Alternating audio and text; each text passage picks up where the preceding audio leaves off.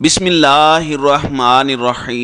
असलकुम नाजरीन कराम नई वीडियो में आपको खुश आमदीद कहते हैं। इस वक्त मुल्क में बहुत कुछ चल रहा है, बहुत बड़ी बड़ी पॉलिटिकल हैपनिंग्स हैं चार पाँच बड़ी अपडेट्स हैं जो मैं आपके सामने रखूँगा। आज army chief general Asim Munir वज़ी अजम हाउस पहुँचे हैं और अहम तरीन मुलाकात हुई है। और इस वक्त जो मुल्की हालात चल रहे हैं, जो सूरत हाल बनी हुई है उसमें यह मुलाकात क्या माने रखती है और इस मुलाकात की क्या अहमियत है? जबकि इसमें खौफनाक तसादम का अलर्ट भी जारी किया गया है। एक जानब अदलिया है तो दूसरी जानब पाकिस्तान के ताकतवर हल्के हैं। यानी पाकिस्तान की इस्टेब्लिशमेंट यानी लड़ाई इमरान खान और पाकिस्तान तहरीक इंसाफ से कुछ आगे बढ़ती महसूस हो रही है। यानी मामलात इससे थोड़ा सा आगे बढ़ सकते हैं और बात सिर्फ़ अब इमरान खान तक नहीं रह सकती और इस हवाले से अलर्ट भी जारी हो चुका है। जबकि जहांगीर तरीन लंदन मुकीम है। लंदन का एक जानब तो बड़ा खुशगवार मौसम है। लेकिन क्या पाकिस्तान की सियासत का मौसम लंदन में अच्छा है? क्या कोई नया प्लान बन रहा है? इस हवाले से भी कुछ अपडेट्स हैं। जबकि हुकूमत ने भी पार्लिमान से 9 मई के वाक़ात के हवाले से बड़ी करारदाद मंजूर की है। सबसे पहले इस्तेकाम पाकिस्तान पार्टी के जो पैटर्न इन चीफ जहांगीर तरीन हैं, उन्होंने पार्टी अहदेदारान का ऐलान किया है और ट्विटर पर पार्टी अहदेदारान का ऐलान करते हुए कहा है कि अब्दुल अलीम ख़ान को इस्तेकाम पाकिस्तान पार्टी का सदर मुकर करता हूँ। जहांगीर तरीन के मुताबिक आमिर कियानी इस्तेकाम पाकिस्तान पार्टी के secretary general, Aun Chaudhry additional secretary general और पार्टी पैटर्न इन चीफ, यानी तर्जमान जो हैं, वो होंगे। और उन्होंने कहा कि पार्टी के मजीद अहदेदारान का ऐलान भी जल्द किया जाएगा। दूसरी जानब जो जहांगीर तरीन है, वो इस वक्त लंदन पहुँचे हुए हैं और जहांगीर तरीन का इस्तेकाम पाकिस्तान पार्टी के क्याम के बाद ये पहला दौरा है। जहांगीर खान तरीन एतवार की शब लंदन पहुँचे, जहाँ वो अपना मेडिकल चेकअप भी कराएँगे। ज़राए का कहना है कि जहांगीर तरीन का लंदन में एक हफ़्ता क्याम मुतव है। और उनकी लंदन में नून लीगी क्यादत से मुलाकात का भी इम्कान है। जराए का कहना है कि जहांगीर तरीन लंदन के नवाही इलाके में अपने फार्म हाउस में क़्याम पजीर हैं और वो वहाँ पर लीगी क्यादत, यानी नवाज़ शरीफ और दीगर कुछ अहम मुलाकातें करेंगे। और इन मुलाकातों पर भी सबकी नज़र है। दूसरी जानब, नौ मई के जो अफसोसनाक वाक़ात हुए, इन वाक़ात पर पाकिस्तान की मिल्ट्री का बड़ा वाज मौक़ है और हकूमत के भी एक बड़े इम्तहान का आगाज़ हो चुका है। क्योंकि उन्हें ऊपर से कहा गया है कि हमने तो अपने हिस्से का काम कर दिया है, लेकिन जो आपके हाथ में है, वो आपने करना है। ज़ाहिर है, वो सब मिलिट्री डायरेक्ट नहीं कर सकती, जो कुछ भी करना है, हुकूमत ने करना है। हुकूमत इन्हें आगे रख के, यानी मिलिट्री इन्हें आगे रख के इनसे काम कर, करवा रही है। तो फ़ौज मिलिट्री कोर्स के लिए किसी को तलब करेगी तो वो एक अलग बात है। अब जो वज़ीर दाखिला हैं, राना सनाउल्ला ने इमरान खान की एक बार फिर गिरफ्तारी का इंदिया देते हुए कहा है कि मिलिट्री तनसीबात और शहीदों की यादगारों पर हमले करने वालों को नहीं बख्शेंगे। एक बयान में राना सनावला ने कहा कि नौ मई वाक़ात का मास्टरमाइंड चेयरमैन पीटीआई है।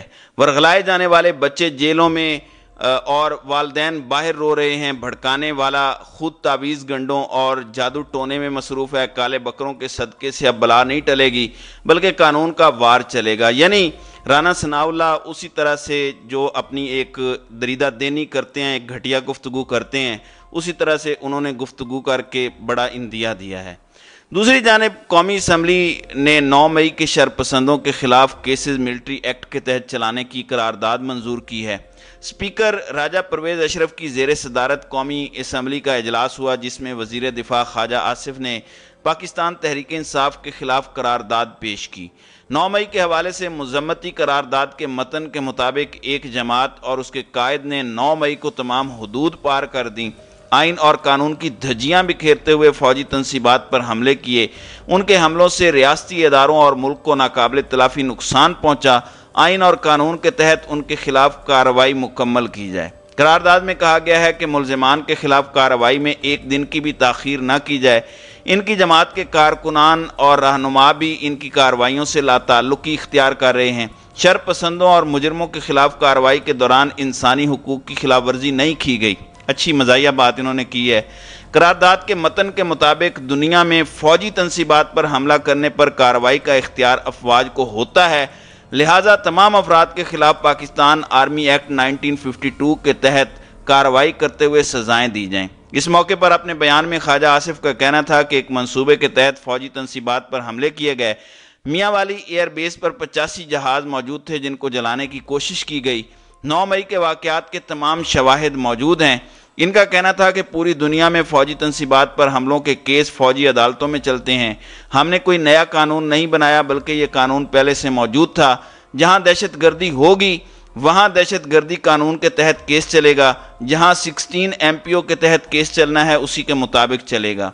ख्वाजा आसिफ का कहना था कि जिन्होंने जहाज़ों को निशाना बनाया, किला बिलसार को निशाना बनाया आर्मी आर्मी एक्ट के तहत केस चलेगा। बाद कौमी असम्बली में नौ मई के वाक़ात से आ, के हवाले से कस, करारदाद कसरत राय से मंजूर की गई। दूसरी जानब चीफ जस्टिस उमरता बंदयाल ने सुप्रीम कोर्ट से पहला खड़ाक किया है और इस हफ़्ते आप और भी और मैं भी बड़ी चीज़ें एक्सपेक्ट कर सकते हैं। सुप्रीम कोर्ट ने पंजाब इंतबात केस में वफाकी हुकूमत की इलेक्शन कमीशन नज़र षानी दरख्वास्त की समात के लिए लार्जर बेंच की इस्तः मुस्तरद की है। सुप्रीम कोर्ट ने पंजाब इंतबात केस में इलेक्शन कमीशन नज़र षानी दरख्वास्त की समात के लिए वफाकी हुकूमत की लार्जर बेंच की इस्तः मुस्तरद करके नज़र षानी की समात के लिए तीन रुकनी बेंच बरकरार रखने का फैसला किया है। रजिस्ट्रार ऑफ़िस सुप्रीम कोर्ट ने इंतबात केस की कॉज लिस्ट जारी की है।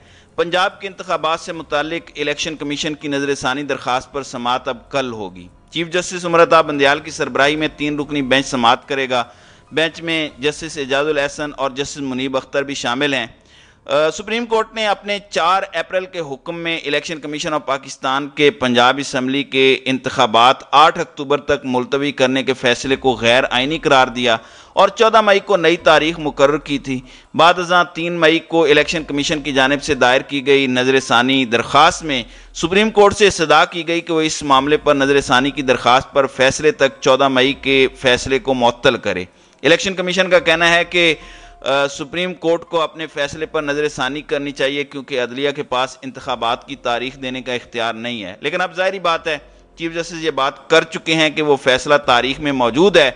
जुडिशल ऑर्डर पर अब 14 मई को इम्प्लीमेंटेशन तो मुमकिन नहीं है, क्योंकि वो तारीख गुजर चुकी है। लेकिन इसकी खिलाफ वर्जी भी हुई है और इस पर इम्प्लीमेंटेशन भी नहीं हुई। अब कल इस केस की समात है और इसमें बड़ा खड़ाक हो सकता है और इलेक्शन कमीशन के पड़खचे भी उड़ सकते हैं। और नए इंतबात की तारीख भी सामने आ सकती है और ये तारीख भी बड़ी अहम हो सकती है क्योंकि अभी और बहुत सारी चीज़ें आनी हैं। अब नाजरीन कराम मैंने शुरू में आपको बताया था कि खौफनाक तसादम का अलर्ट है। इस वक्त बहुत से सहाफ़ी हैं जो अपने ज़राए पर नाजा हैं क्योंकि उनके हकूमती हलकों के साथ साथ ताकतवर हलकों के भी वो ना, नाम नहाद तर्जुमान तो बने हुए हैं। अब ये कहा जा रहा है कि लोअर कोर्ट्स और जुडिशरी ख़ास तौर पर टॉप लेवल की इनके हवाले से एक नया प्रोपोगंडा शुरू किया गया है कि अगर सुप्रीम कोर्ट अपने फैसले पर जो इंतबात पर अमल दरामद नहीं हुआ, उस पर तोहन अदालत लगाती है तो ये नौ मई का असर ज़ायल करने वाली बात है। यार, वो कैसे असर ज़ायल होगा? हकूमत करे नौ मई के वाकत पर कार्रवाई, ये अलग मसला है। इसके साथ अगर हकूमत को या इलेक्शन कमीशन को घर भेजा जाता है, इससे 9 मई के वाकत की कार्रवाई तो नहीं रुकेगी, वो तो अदालतों में चल रही है, फौजी अदालतों में ज़्यादा से ज़्यादा चलेगी। वो तो अदालतों ने फैसला करना है, इस हुकूमत ने तो नहीं करना।